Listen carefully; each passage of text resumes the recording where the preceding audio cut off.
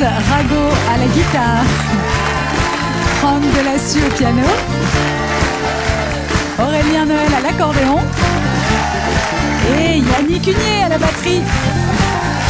Aujourd'hui dans le Shabada, j'ai le plaisir d'accueillir celle qui a donné du soleil à la France, Stone, celui qui a donné de la voix à la Corse, il nous a fait vibrer avec euh, ses polyphonies et son groupe Imouvrini, c'est Jean-François Bernardini. Et le duo qui a donné un sacré coup de jeune à Mozart, Michelangelo Loconte et Florent Mott de la troupe Mozart, l'Opéra Rock. Et comme chaque dimanche, la complicité de Jack, Jacques Pessis, pour vous raconter les plus belles histoires de la chanson française.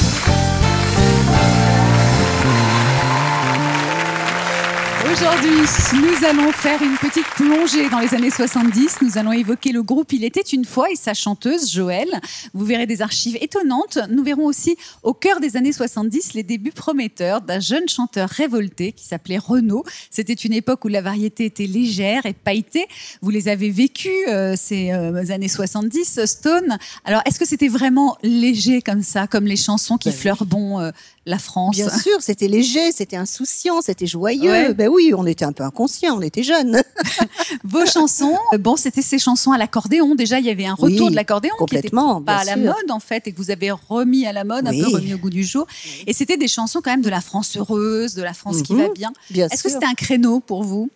Bah oui, en fait, Ouais. on s'en est rendu compte après, hein, Ouais. comme souvent. Mais en fait, c'est vrai, on a, il y avait un créneau à prendre, on l'a pris. Et puis après, on a fait des, des petits, des émules. Hein, les duos, Ouais. après, ont fleuri euh, Ah avec oui. grand succès Bah pour voilà, la un plupart. duo hein. Stone et Voilà, Chardin, entre version autres. euh, 2010.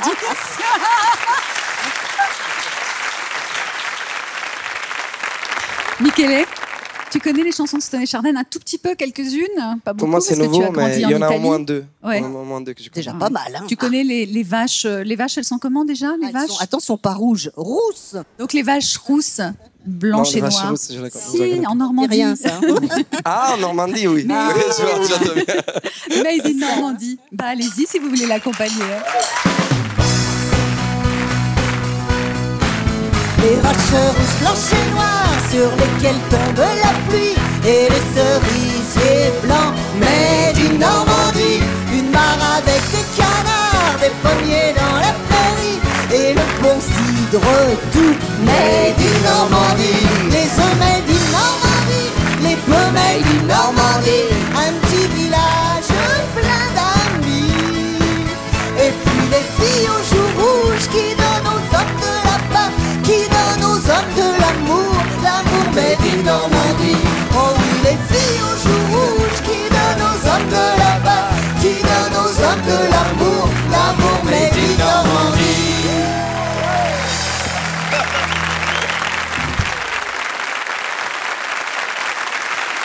puis on peut applaudir aussi, puisqu'on a entendu leur voix, Mario et Philippe. Mais beaux choristes Beaux choristes. Alors ils, Philippe, sont, le coiffeur de vedette. Oh, Mario, arrête. alors, ils sont très polyvalents, hein, Mario Oui, et Philippe, parce que. Philippe, c'est ton coiffeur. Exactement. C'est lui la coupe à la stone? Ah oui, il a repris les choses En en, tout main. cas, il l'a euh, oui, rafraîchi, oui, quoi. oui. Et euh, Mario, il est très polyvalent aussi, Oui, puisqu'il t'a aussi. fait deux beaux enfants. Voilà, c'est mon mari, Voilà. accessoirement. Absolument.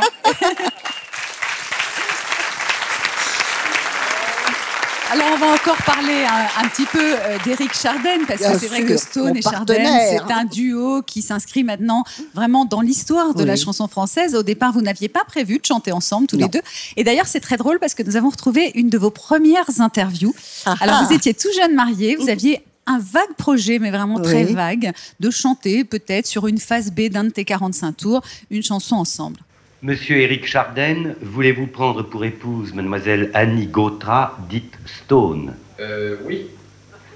Mademoiselle Annie Gautra, dite Stone, voulez-vous prendre pour époux monsieur Éric Chardin? Oui, Eh bien, quand est-ce que cette cérémonie s'est réellement passée? Euh, elle s'est passée le 27 juin 1965 66. ah bon, à 11h du matin. Voilà. Non, à 5 heures. Eh bien, je vois que vous êtes parfaitement d'accord. Et au bout de combien de temps avez-vous eu ce chien? C'est pour ça qu'on s'est mariés, parce que c'était pour donner un nom à, à la jeune fille qui se trouve là, qui s'appelle Ophélie. Ouais. Alors on est obligé de légaliser, quoi. Les yéyés légalisent, alors on, a- on s'est marié pour le chien. Et qu'est-ce qui fait la cuisine? La jeune génération on dit ne sait pas faire la Ah cuisine. non, non, alors je vais vous dire un truc. Le secret de Stone, le secret de sa réussite, c'est qu'elle fait très bien la cuisine. Oh.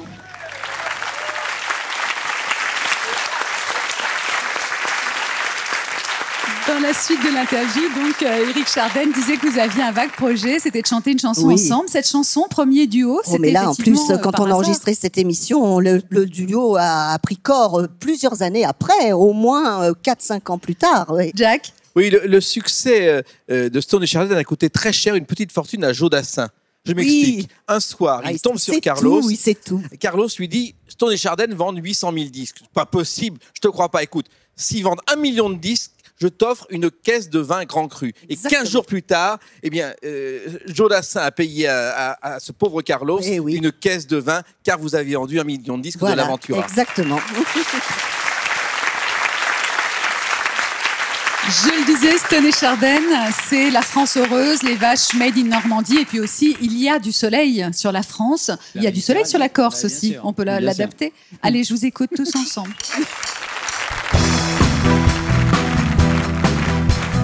Dans les collines, les champs et les vignes, mon Dieu qu'il fait bon. Là-bas dans l'eau fraîche, nos deux cannes à pêche attendent un poisson.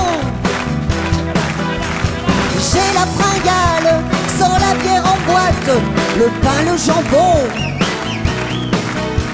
On est dans la paille, les autres travaillent.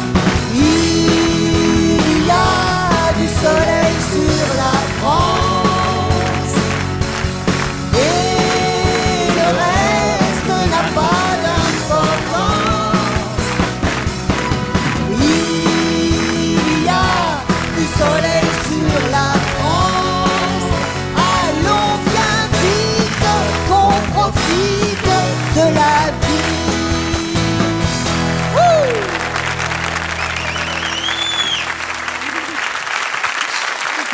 années 70, les années légères de la variété, il y avait un groupe qui faisait un tabac, c'était le groupe Il était une fois. Et pour évoquer ce groupe, merci d'accueillir Nathalie Lermite. Et vous allez le voir, une surprise de taille.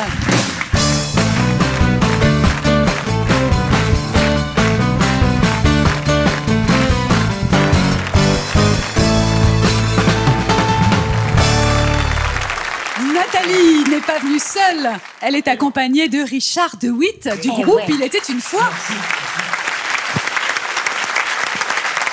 Le groupe, il était une fois, Richard de Witt a composé plusieurs chansons, les, les Bah, plus belles chansons du groupe. musiques, hein, Exactement. façon, Et un jour, euh, Serge Collen, euh, il s'enferme pendant trois jours dans une chambre d'hôtel pour écrire une chanson. Il ne téléphone à personne, il sort avec cette chanson et le groupe dit on ne chantera pas cette chanson parce qu'il y a des paroles qu'on ne peut absolument pas interpréter dans les années 70. C'est pas, exactement ça. c'est pas exactement. la, la maison de disques pensait que c'était un petit peu euh, osé pour l'époque. Ouais. Et on s'est dit, ça passera jamais sur les Mais radios. qu'est-ce qui était osé euh, J'ai encore rêvé et d'elle les, et les draps s'en souviennent. Les draps s'en Ah, les souviennent. draps s'en Alors là, souviennent. ah Donc, ouais. Serge a tenu bon. Il s'est enfermé dans une chambre d'hôtel. Il a dit tant qu'on n'enregistre pas cette phrase, je ne viens pas au studio. Donc, tout le monde l'attendait comme ça, voilà. Et en fin de compte, la maison de disques a cédé parce que ça coûte cher le studio quand même. hein. Ah Et ouais. personne ne croyait Et en la chanson. Et non, c'est pas qu'on n'y croyait pas, c'est que c'était un- un- une merveilleuse belle chanson hein, pour le fun. hein, mais on pensait que c'était pas pour notre public, vous voyez, parce qu'on avait un public assez jeune, hein, genre 13-15 ans. Et on s'est dit, c'est, pff, ça leur plaira pas, quoi. Bon, Et c'est on, une. ouais. on- on se trompait complètement. Oh, bah hein, oui, bien sûr, parce que non seulement ça leur a plu, mais ça continue à plaire des années après. C'est Eh une oui. chanson Merci, dont euh, il n'y a pas que les draps qui se souviennent. Non, absolument.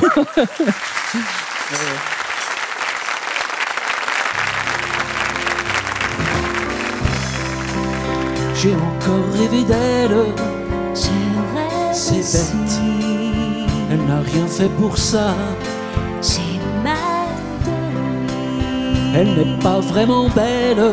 j'ai un peu froid. Elle est faite pour moi. Réveille-toi. Tout en douceur. Juste pour mon cœur. Si je pouvais me réveiller à ses côtés.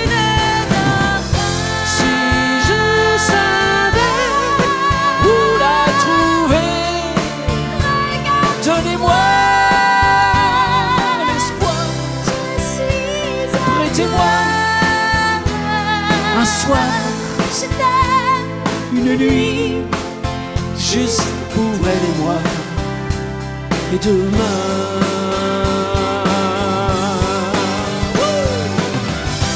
Enfin, je vais me réveiller à ses.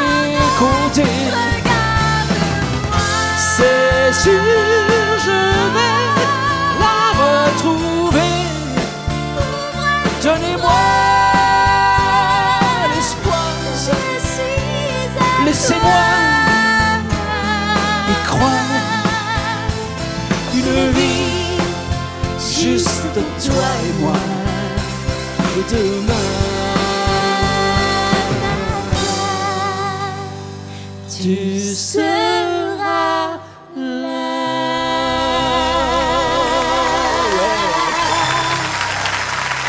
Merci Nathalie. Merci Richard. Merci à tous les deux. Bravo Nathalie, vraiment. Ah, mais C'est c'est, un- euh, c'est- Waouh, et merci Richard. Mais euh, c'est vrai que cette chanson, elle est construite avec une telle montée. Je comprends parce qu'il n'y avait pas que les paroles, quoi. Ça a un côté un peu orgasmique. J'avais appelé ça opéra avant le texte, avant que le Serge écrive le texte, j'avais appelé ça opéra moi parce que Ah je sais pas, la mélodie m'était venue comme ça, tombée du ciel euh, en cinq minutes, Ouais. c'est vrai hein. Alors que toutes les autres chansons, je mettais un temps fou à faire les refrains, les couplets, les machins, et celle-ci, je, la- je C'est la considère comme un miracle un petit Ouais. peu. hein, voilà bon. Michele, il l'a- il l'a chanté sur la tournée Ashtambe. Ah Et alors nous, on le regardait et tous les jours, on pleurait. Gens- non mais c'est vrai, hein, le Ah, public venait me voir, ils m'avez fait incroyable. pleurer, ils avaient Ah les yeux ouais. tout rouges et Parce qu'en plus, c'était- émouvant. On voyait la Ouais. photo de Joël Ouais, et on ouais, était pris comme Ouais. ça. Et ah, à chaque fois, ça y est, le Kleenex. C'est- voit, le public a chanté. Enfin, Oui, c'est, euh, voilà, formidable, vous avez- Alors Joël, justement, euh, Joël, elle a eu une carrière euh, relativement courte, assez éphémère, puisqu'elle a disparu. Elle est morte très jeune. À l'âge de 29 ans. Mais elle est très regrettée. Moi, je reçois souvent des lettres. euh, On nous demande souvent de parler de Joël et de ce groupe.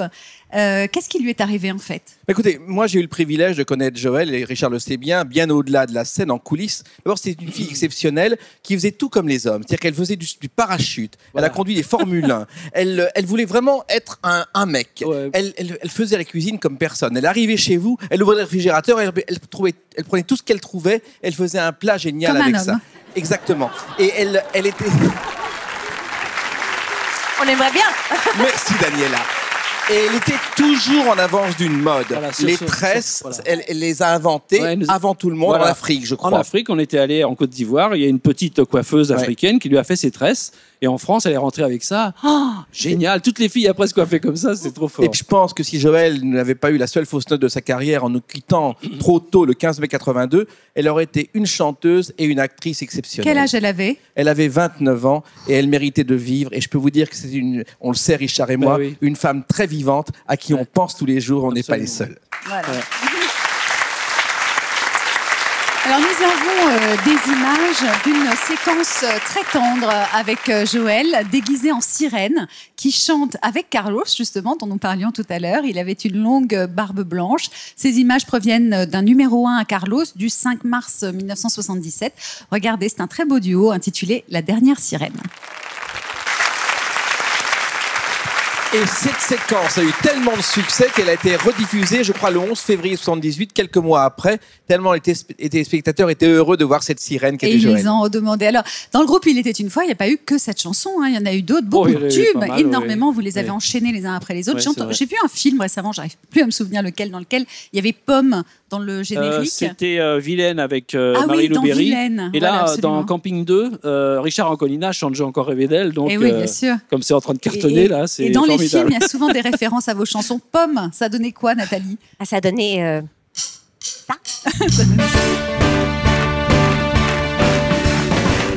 Bravo, comment tu l'as connue Elle devait pousser dans la rue. Ou se faner dans un club Qui se croyait à la mode. Pour ton cœur c'était facile. Puisque la plus jolie des filles Pleurait sous tes yeux ce soir-là. Tu l'as cueillie dans tes bras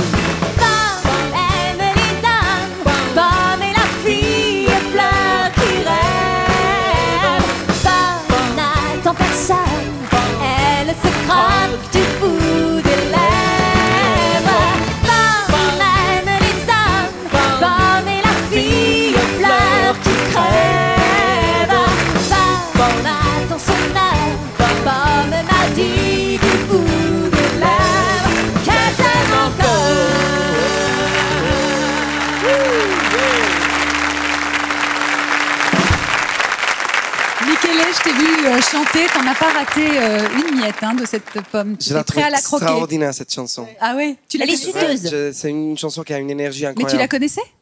Première non, écoute, donc tu l'entends Oui, pour la première fois et déjà tu Je la l'as trouve trouvé extraordinaire, vraiment, c'est vrai. C'est une En toute chanson. de- sincérité. C'est une chanson de 1978. C'est la, la chanson sur le dernier album. Voilà. Il était une fois. Il était une fois qui a failli d'ailleurs s'appeler au départ la Marabunta. Voilà. Oui. Et c'est- ce sont des Ouais. colonies euh, de De fourmis. fourmis qui dévorent tout ce qu'elles trouvent sur leur Ah oui. passage. Et le nom donc a changé. C'était un petit peu hard quand même. Au départ, on était un groupe pop, hein, donc euh, rien qu'un ciel, le premier titre qui a Mais c'est fonctionné. très pop, hein, toutes ces Voilà, chansons. euh, est, est tombé par hasard dans le premier album qu'on a fait. Tout le reste n'était absolument pas commercial et rien qu'un ciel. Merci mon Dieu. euh, nous a fait démarrer, voilà. Oui. Alors justement, on va en parler. Nathalie, viens te mettre à côté de moi parce qu'on va laisser la place à Alexandra qui va nous parler d'une nouveauté de la semaine. Et attention, ça vous concerne.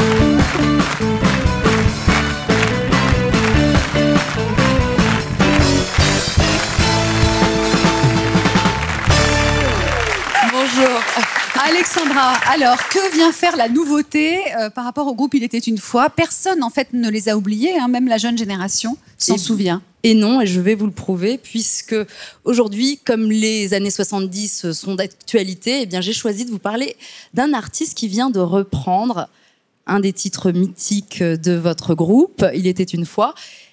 Et effectivement, c'est rien qu'un ciel. Alors, Il était une fois Vous le un saviez, jeune auteur. Richard? Vous le saviez, je pense. On a Oui, dû en vous demander j'ai la chance de l'autorisation. faire le, la musique et les paroles. Alors là, c'est un, c'est un coup Ah de bol, ouais, hein, franchement. génial.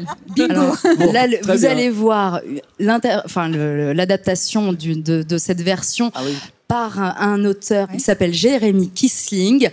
Son talent remarqué, remarquable a fait qu'il a euh, fait les premières parties de Julien Clerc, de M, de Benabar, de De Palmas et de Carla Bruni, euh, c'est Voilà. vous dire. Bravo. Il en est à son troisième album, Antimatière, dans lequel vous trouverez un très joli duo avec Émilie Loiseau. Et aujourd'hui, j'ai reprend. décidé euh, de le kidnapper pour l'avoir dans Shabada, Jérémy Kisling. Il est là, Jérémy Kissling pour chanter Rien qu'un ciel. ciel, avec les arrangements vraiment euh, très beaux de cette chanson remise au goût du jour. Jérémy Kissling.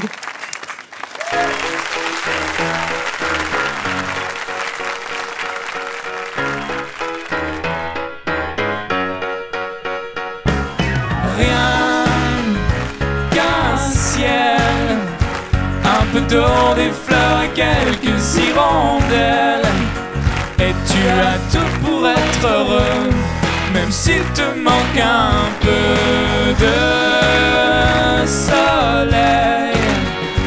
Quelques mots d'amour autour quand tu t'éveilles. Quelqu'un blottit tout contre toi quand tu t'endormiras. Toi qui crois que la vie n'est pas faite pour les les malchanceux. Écarte les yeux, ouvre ta fenêtre et laisse le jour entrer un peu. Rien qu'un ciel, un peu d'eau, des fleurs et quelques hirondelles.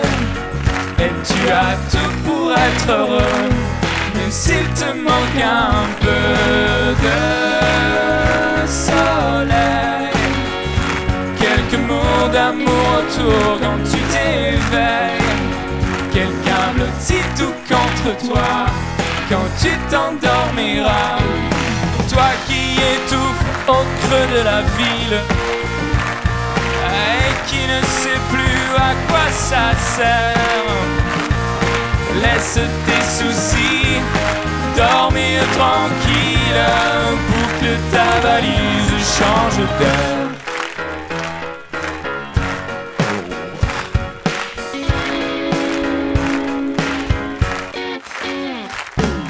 Rien qu'un ciel, un peu d'eau, des fleurs et quelques hirondelles. Et tu as tout pour être heureux, même s'il te manque un peu de soleil. Quelques mots d'amour autour quand tu t'éveilles. Quelqu'un blottit tout contre toi quand tu t'endormiras.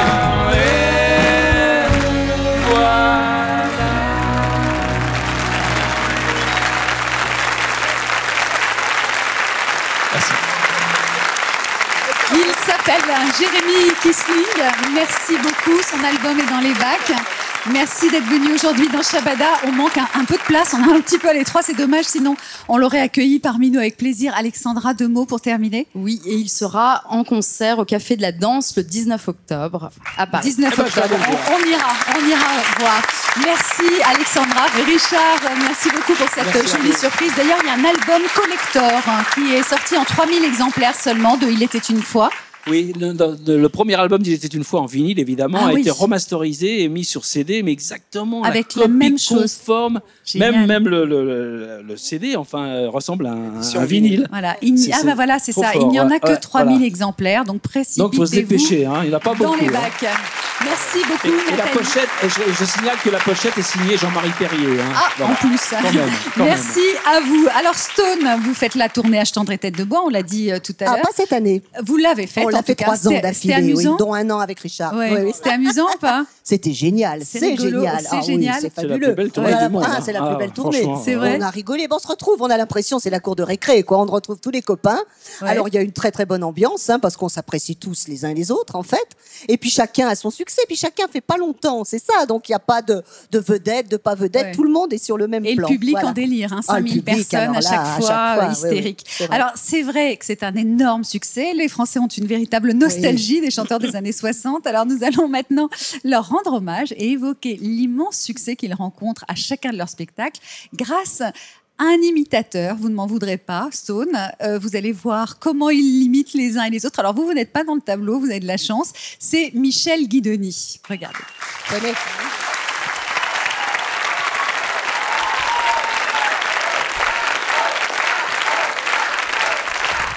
Merci, merci mes chers compatriotes, merci. Mes chers compatriotes, ma chère Daniela, eh bien oui, ces chanteurs des années 60, H et tête de bois, font un véritable carton partout. Et ils nous donnent l'exemple. Travaillez plus pour gagner plus. Mais ne croyez pas qu'ils reprennent du service pour leur plaisir. En fait, c'est qu'avec le recul de l'âge de la retraite, eh ben, ils ont été obligés de retourner au boulot. Alors, bien évidemment, la plupart d'entre eux commencent à tirer la jambe, mais leur ego est resté intact. D'ailleurs, la tournée vient d'être rebaptisée Grosse tête et jambes de bois.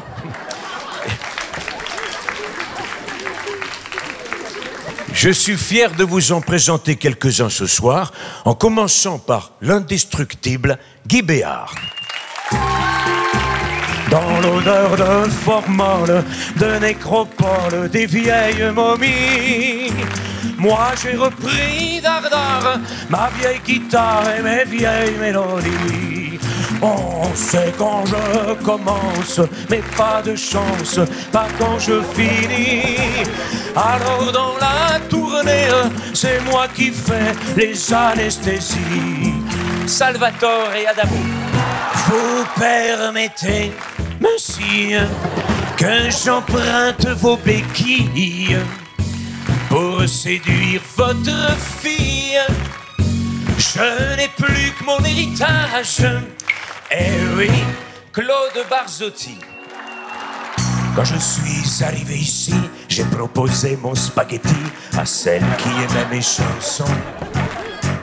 Mais maintenant que les rappeurs à la télé font des cartons, elles préfèrent toutes les nouilles au beurre. Alors j'ai voulu essayer de rapper comme un dératé et je me suis niqué le dos. Les vertèbres et la hanche aussi, et si je marche comme un papy, c'est parce que j'ai un limbago. Je suis bancal et ça m'embête, quand je m'en vais, on croit je reste.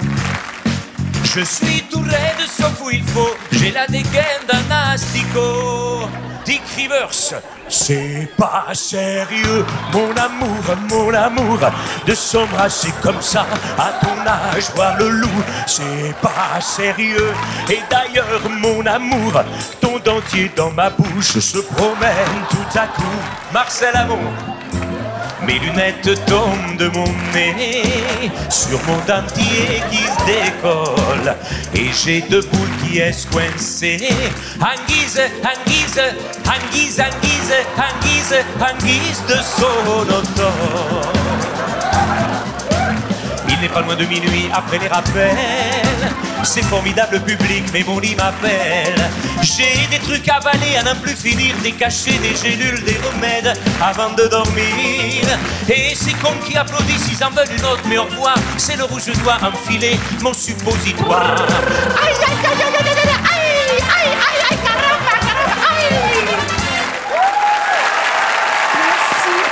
Michel Guidoni qui est venu enregistrer euh, cette séquence tout à l'heure parce qu'à l'heure qu'il est, il est euh, sur scène, il est au théâtre des Deux Ânes comme imitateur et en plus, il est à l'Alhambra désormais le soir avec Alexandra Vandernoot qui est là.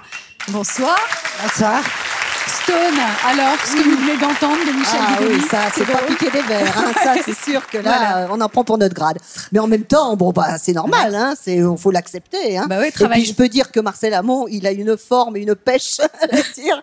Il est loin de tout ce qu'on raconte Ouais. là-dedans. Alors travaillez plus pour gagner plus. Hein. euh, Oui, vous allongez sûr. euh, là où Ah bah on, oui, là, on on n'hésite débat pas, sur là. les retraites. euh, Vous, vous n'hésitez pas. Non, non. Alexandra, vous êtes avec Michel Guidoni au théâtre euh, dans une pièce très amusante de Bernard Usan qui s'appelle Le Président, sa femme et moi. Voilà, qui est donc une pièce sur Sarko. Ah sur bon, notre vraiment président. Absolument. qui s'appelle pour l'occasion le président Thomas Barowski, évidemment.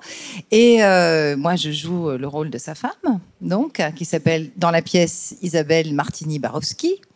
Euh, voilà, donc enfin bon. Et qu'est-ce qui lui arrive à ce président Ben, si vous voulez, le président, comme il veut être partout sur tous les fronts en même temps, à un moment donné, ça coince. Donc, il va faire engager un sosie. Il va demander à ses services secrets de rechercher des, un sosie. Quelqu'un qui lui Euh, ressemble. Quelqu'un qui lui ressemble. Donc, ils vont par recoupement, par les photos d'identité et de passeport, trouver le Français qui ressemble euh, au président. Et là, il est prévu de l'entraîner pendant deux, trois mois, etc. Sauf que le, le gars qui est en fait un comédien au chômage, euh, reconverti dans la vente de canapés euh, à Créteil-Soleil, euh, se retrouve amené euh, manu militari à l'Élysée et il est prévu de l'entraîner pendant trois mois. Sauf que ce soir-là, le président a euh, une rencontre avec le Dalai Lama, qu'il a quand même reporté déjà trois fois. Ouais. Euh, il a la libération des otages au- mexicains en duplex. Il a euh, la finale de foot. Ah bah et tiens. il a les deux ans d'anniversaire de mariage avec sa femme. Bah oui. euh, qui serait extrêmement énervé S'il ne venait pas. Donc, comme ça coince, ils vont envoyer le sosie direct. Il l'anniversaire va- de mariage quand même. Évidemment. Ah non. Et alors, Isabelle, qui n'est quand même pas aussi idiote qu'elle en a l'air, va évidemment comprendre la supercherie. Et donc après, elle va manipuler un petit peu tout ça Ah à ouais. son avantage. Enfin voilà, donc il y a des quiproquos, il y a des choses très très amusantes, il y a des, des portes qui claquent, c'est un vaudeville, c'est un Ouais. boulevard. À voir en été et même pendant la Coupe du Monde d'ailleurs. euh, Oui, hein. d'ailleurs, on joue à 19h, comme ça, Voilà. les gens qui Ah bah, veulent aller pas- voir le match, après, ils peuvent vite courir euh, voir Et le vous, match. vous diffusez pas le match euh, après directement dans le théâtre Non, pour l'instant, c'est en discussion. Mais euh, en tout cas, les gens Voilà. peuvent vite rentrer chez eux voir le match. Les, ceux qui Merci sont accros. Alexandra Merci. Daniela. Je rappelle le titre de la pièce dans laquelle vous jouez avec euh, Michel Guidoni, Vanessa Gage et Jean-Marie Lamour. Ça s'appelle donc Le Président, sa femme et moi. Et c'est une pièce de Bernard Usan. Alors, avec Jean-François, maintenant, nous allons évoquer euh, Renaud. Euh, chanteur euh, donc euh, qui a émergé hein, à la fin de ces années 70. Je crois que son premier titre c'est 78, non? 74. 74, ah ouais, donc c'est 74, la vraiment- Java sans joie, Ah ouais. un premier disque qui n'a pas marché du tout. C'est quelqu'un dont vous admirez euh, principalement quoi? Les chansons, les il, fait textes partie les- il fait partie des auteurs, compositeurs, interprètes qu'on aime bien. Il est, il est dans la filiation de Brassens. C'est Ouais. quelqu'un qui écrit des, des chansons qui ressemblent à des petits tableaux. Et puis, puis humainement, c'est quelqu'un de très chaleureux et très vrai. Première euh, télé de Renaud. Est-ce que vous avez une idée de ce qu'il pouvait chanter ce jour-là? 74 donc apparemment? Oui. C'est faut pas être dans l'hexagone là, je sais pas Ah quoi. non, hein. c'est pas ça. Non, non, c'est euh, autre chose ah ouais, c'est- alors c'est très très étrange. On voit que quand même à ses débuts, il, enfin il avait déjà son style, mais il l'a perfectionné, disons. Euh, ce sont des images donc de sa première télé. Il a 20 ans. C'est Daniel Gilbert qui le présente. C'est assez drôle parce qu'elle le présente un peu du bout des lèvres. hein. C'est euh, un petit peu révolutionnaire quand même pour euh, le type de télé qu'elle avait l'habitude de, de présenter. Et lui, il chante une chanson. Ça s'appelle Les Bourgeois. Bah, je vous laisse découvrir. Maintenant, je voudrais vous présenter un garçon qui s'appelle. Jean-François, comment vous la trouvez la chanson Ouais, il, il a gardé son côté impertinent, irrévérencieux et qu'il annonçait déjà. Il s'est bien fidèle C'est vrai, et quand on pense que Et euh, courageux en même temps. près de 30 ans ou 40 ans plus tard, il a fait les bobos, hein, c'était euh, assez proche de ça, Jacques. Oui, mais il y a une histoire derrière cette chanson, c'est-à-dire que Renaud a fait mai 68, il a été sur les barricades, il a, il a dormi à la Sorbonne, et il fait à l'époque partie du GGR, c'est-à-dire le groupement Gavroche révolutionnaire. Alors il se définit comme marxiste, mais tendance Groucho, comme Groucho Marx des Marx Brothers. Bravo. La chanson, euh, donc, euh, on l'a entendue. Moi, moi, je préfère ce qui est arrivé un petit peu plus tard quand même. Par exemple, Mistral gagnant, qui est euh, le choix que vous avez fait aujourd'hui. euh, une chanson Une très qui- belle chanson qui est rentrée dans, dans le cœur, dans la mémoire Ouais. de, de tous les Français.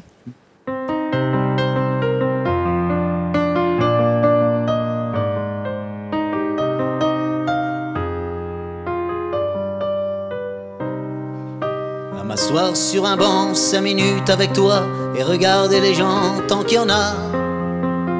Te parler du bon temps qui est mort ou qui reviendra en serrant dans ma main tes petits doigts. Donner à bouffer à des pigeons idiots, leur filer des coups de pied pour de faux. Et entendre ton rire qui les a de les murs, qui sait surtout guérir mes blessures. Te raconter un peu comment j'étais minot, les bons becs fabuleux. Qu'on chez le marchand, car en sac et minto, caramel à un franc. Et les Mistral gagnants. Marcher sous la pluie cinq minutes avec toi et regarder la vie tant qu'il y en a. Te raconter la terre en te bouffant des yeux, te parler de ta mère un petit peu.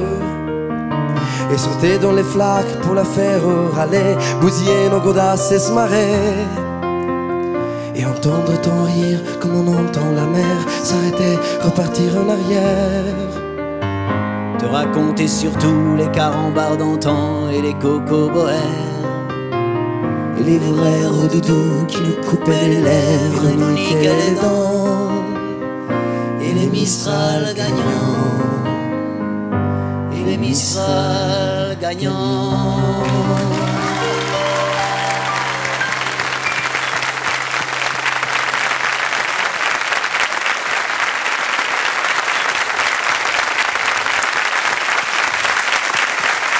Cette chanson correspond exactement au souvenir de lycée. Euh, Renaud a fait plusieurs lycées, il a brillé dans les lycées, mais brillé par son absence uniquement. Et dans l'un des lycées, il avait fondé le club des rats crevés, dont le principe, dont le principe consistait à faire du racket dans les préaux et à voler aux autres copains de- du lycée les carambars et les Mistral gagnants. Et les cocoboères. Exactement. C'est du joli. Jean-François, qu'est-ce que vous préférez chez Renault Euh, Plutôt celui des débuts, euh, le côté euh, dans mon HLM, Marche à l'ombre, la mer à Titi, plutôt euh, Manhattan, Kaboul, les dernières années? J'ai beaucoup, beaucoup aimé le, la force de son retour triomphal. Ça, ça, ça a ému un public bien plus large que son public d'origine, parce que c'est un travail sur soi extraordinaire, c'est une force de se régénérer, de se réinventer et revenir avec. euh, moi, je l'ai vu en concert ces soirs-là, euh, c'était magnifique, très fort, et je crois que c'est un artiste qui l'a mérité vraiment. Ouais. Deuxième chanson que vous avez euh, choisie aujourd'hui, c'est Dès que le vent soufflera. Euh, pour le Tintintin, vous nous aidez. hein. Pour le tintintin. C'est pas l'homme qui prend la mer, c'est la mer qui prend l'homme. Moi la mer, elle m'a pris, je me souviens un mardi.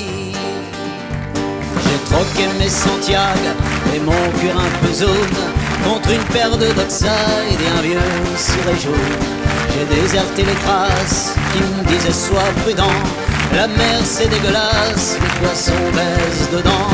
Dès que le vent soufflera, je repartira. Que les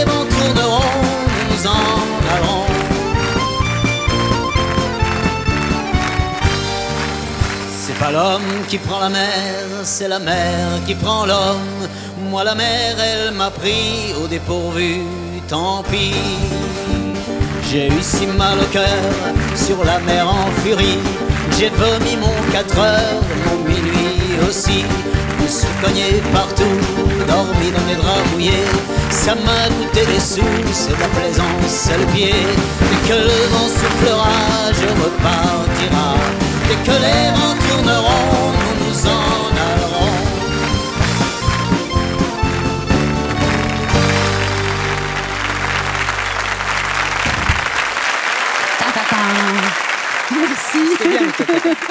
Jean-François, vous avez sorti euh, en mars dernier un album avec euh, le groupe Imouvrini, dont vous faites partie. Des nouvelles chansons, nous allons euh, en entendre une tout à l'heure. Mais d'abord, je voudrais, Michele et Florent, que vous me parliez un petit peu de ce succès Mozart l'Opéra Rock qui continue sa belle vie sur scène avec une tournée. Et puis Paris de nouveau, le 9 novembre prochain. Vous en êtes à combien de, de spectateurs là? En, euh, On les compte plus? 800 000. 800 000. 800 000. Ouais. 800 000. Se rend pas compte. Florent, euh, le premier membre de la troupe que vous avez rencontré, euh, c'est lui, non? Et, et vous lui. aviez dit j'ai eu une réaction digne de Salieri. Qu'est-ce que ça veut Réaction dire salérienne. Et bah, C'est-à-dire tout simplement, je l'ai vu et euh, je dis mais mais qui c'est ce gars là comme ça? C'est quoi cette coupe de cheveux et, euh, Puis après, je l'ai entendu jouer au piano. Je l'ai Ah entendu ouais. chanter et jouer au piano. Et là? Pareil, réaction très salérienne. Je fais waouh. Ouais. Voilà un mec qui joue. Voilà un musicien. C'est un rival, donc. Vous interprétez les titres du spectacle en acoustique euh, de temps en temps quand vous êtes euh, entre vous, vous prenez une guitare. euh, Oui, beaucoup, ouais. Ouais, ça vous arrive Lui, tout le temps. Lui, Lui, il le fait tout le temps Il réfléchit avec. Ouais. Alors, il y a, il y a pas mal de grands tubes hein, dans le spectacle. Est-ce que vous voulez prendre la guitare là et nous les faire un peu tous les deux euh, en Vas-y, acoustique pour changer, Florent.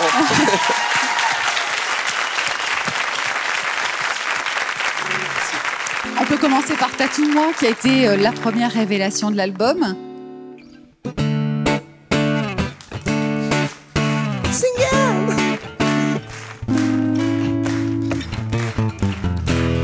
Divine, candide, libertine, ce soir je viens m'inviter dans ton lit. Laissons dormir les maris, allons nous aimer, on est des braves gens. J'apprendrai ta langue et ton accent pour te comprendre. Je serai frivole et décadent pour te surprendre. Ah, tâte-moi sur tes seins, fais-le du bout de mes lèvres. Je baiserai tes mains, je ferai que ça te plaise. Tâte-moi sur tes murs, un futur à composer. Je veux graver toute ma luxure sur tes dorures, te tatouer sans mesure.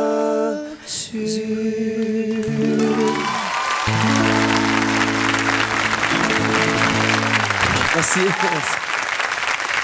Merci.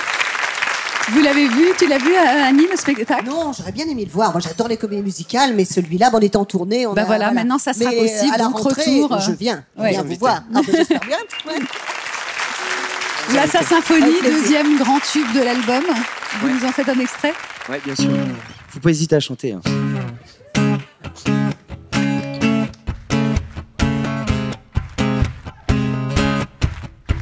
Cette nuit, intenable insomnie, la folie me guette.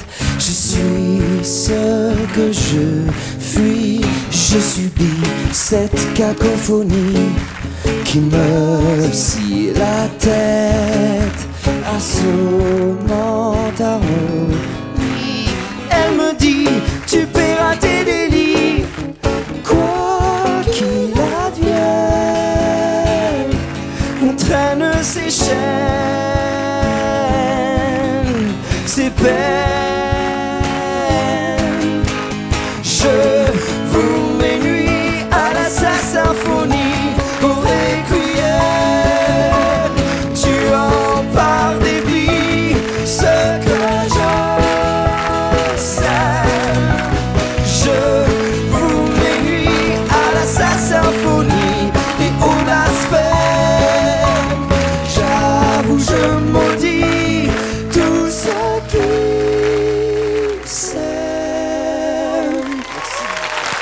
les gars.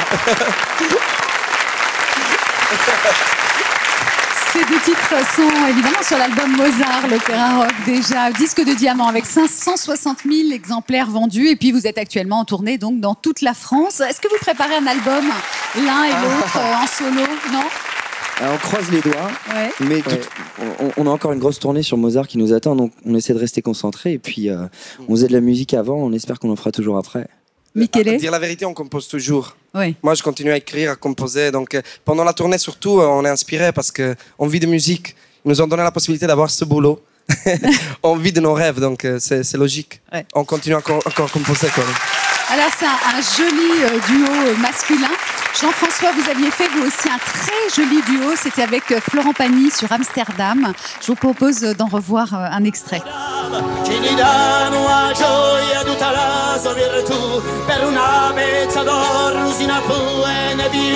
Se plante le nez au ciel, se mouche dans les étoiles, et il pisse comme je pleure sur les femmes infidèles. dans le port d'Amsterdam Dans le port d'Amsterdam, dans le port dans le port d'Amsterdam dans le port d'Amsterdam. Dans le port d'Amsterdam il y a des marins qui boivent et qui boivent et reboivent et qui reboivent encore. ils boivent à la santé des putains d'Amsterdam De Hambourg d'ailleurs, enfin ils boivent aux dames. Virtù Pour une pièce en or, et quand ils ont bien bu, se plantent le nez au ciel, se mouchent dans les étoiles et ils pissent comme je pleure sur les femmes infidèles. Danno a gioia tutta la sua virtù Pour une pièce en or, et quand ils ont bien bu, Dans le port d'Amsterdam. dans le port d'Amsterdam, Dans le port, dans le port d'Amsterdam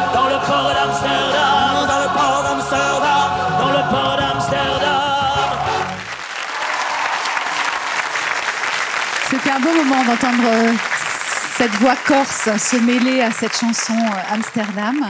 Euh, on va entendre maintenant un extrait de votre nouvel album. L'album s'appelle Joya, ce qui veut dire joie. Ouais. C'est un album très joyeux d'ailleurs. Euh, un album en corse entièrement. hein. C'est important pour vous de chanter en, en corse? Ouais, il y a aussi un duo avec Grand Corps Malade et Ouais. avec euh, Thomas Dutronc. On choisit pas toujours la langue dans laquelle on chante. Et je crois que c'est important de chanter sa vérité dans, dans, ouais, dans, dans le son qu'on a dans la voix. Et en même temps, Mm. ça vous apprend l'amour de toutes les langues du monde, Ouais. bien évidemment. Il y a l'idée quand même aussi de faire entendre la langue corse un petit peu partout, parce que vous avez sorti aussi un dictionnaire euh, corse. Ouais, c'est un dico corse, un, Un peu d'autodérision et d'humour et une manière de d'ériger des ponts plutôt que des murs de mépris et d'indifférence et du sens et puis, puis de l'humour aussi. Alors, vous allez peut-être vous installer. Euh, le groupe Imouvrini va venir vous rejoindre. Le temps que tout le monde s'installe, Mario Dalban nous a rejoint. Euh, Stone, euh, Mario a écrit quand même pour vous, hein, tous vos Oui. maris en fait. Vous les choisissez comme Ah ça. oui, ceux il faut qu'il soit compositeur, c'est indispensable, Il a hein. écrit J'ai toujours chanté des chansons d'amour. Oui. Une chanson que vous avez chantée, mais que Tino Rossi a Voilà. chanté également. Il en a vendu Dans son euh, dernier 350 000 disque, exemplaires. avant voilà. de, de partir, il Avant nous a enregistré cette Et belle ça faisait chanson. quoi alors cette chanson? Alors ça faisait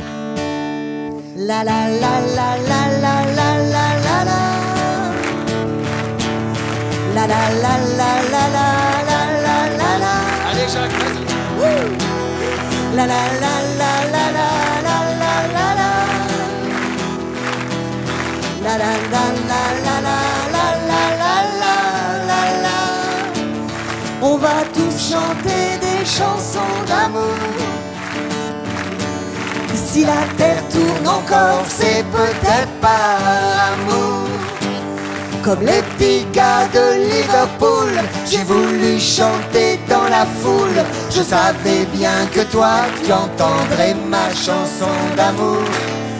Une chanson, c'est peu de choses, mais si l'on chante tous la même chose, alors la terre entière ne sera plus qu'une chanson d'amour.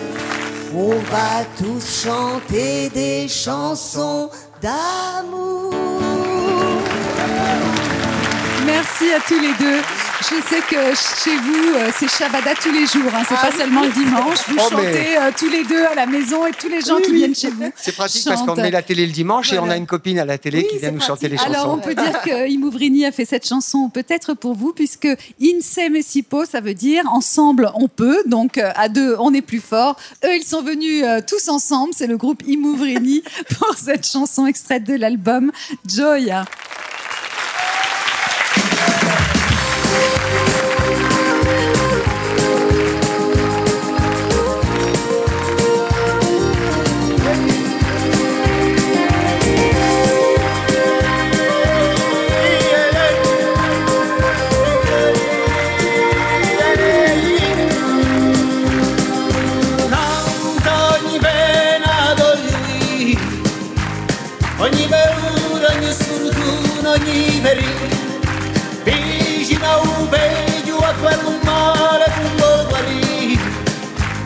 Ogni dispera non vuole che fiorì e se tu ti domandi se tu ti perdi di come vai di come se perché tomba Basta basta una mano, una mano tesa, non una spalla, io tre parole che una voce porta così poco a fare. Insieme si può, in San Sibo sanno i nostri curaggi sanno avvisare San Sibo in San Sibo sanno i nostri cuori sanno avruare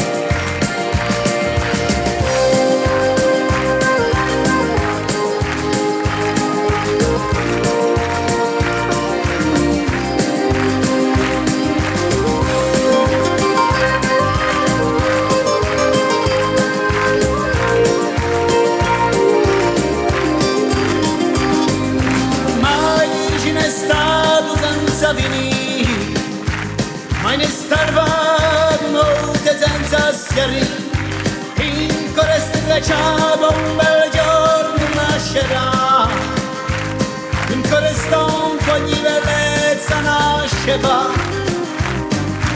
این میلیزیونا دی میگوه دراچه due ne so, due sorelle di puntasca tutti due di voi ne verremo mai se dai un sole, se dai un sole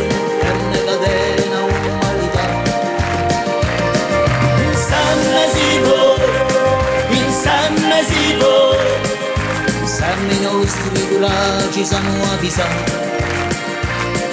Insanne sivo, insanne sivo, sanno i nostri dolori sanno trovare.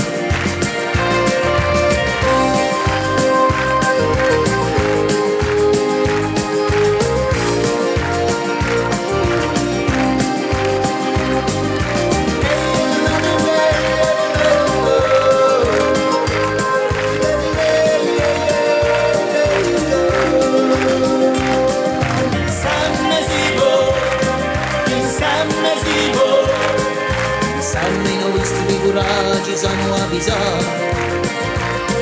Une sam nazimbo, une sam nazimbo, une sam en noir droit.